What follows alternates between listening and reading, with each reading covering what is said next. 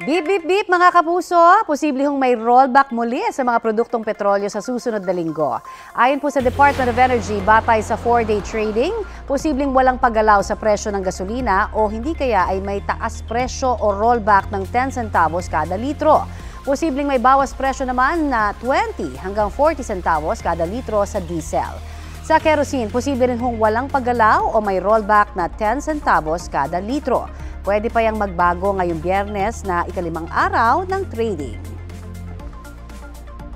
Kapuso, para sa mga maiinit na balita, mag-subscribe sa GMA Integrated News sa YouTube.